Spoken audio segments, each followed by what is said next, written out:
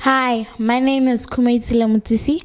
I would like to be an actress um, and go to Hollywood and represent what our country and our continent has to offer to the world.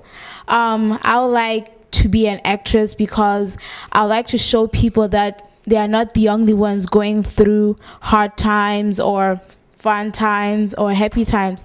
I'd just like to show them how, you know, life is what it is. And my inspirations are uh, jo- Angelina Jolie because she just shows me what acting is and how to act. And she inspires me a lot to show people that they're not the only ones going through these kind of things. Thank you. Um, I'll be acting as a girl who doesn't want her mom to get married to another man.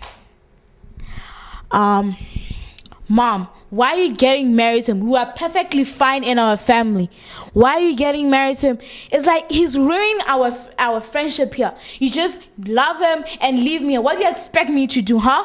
You just leave me, abandon me on the floor here and go around and Google love. I don't want you to Google love, okay? You are perfectly fine with me. If you want someone to love, I'm here. I'm your daughter. You're supposed to respect me and give love to me, not that man who just came out of the blue and just said, hey, let's get married, okay?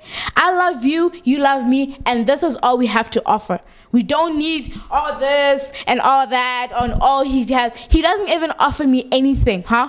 What do you expect? He's just here for the being sake of being here, huh? He just Google loves with you. What about me? I want my father, okay? Marry my father, not him.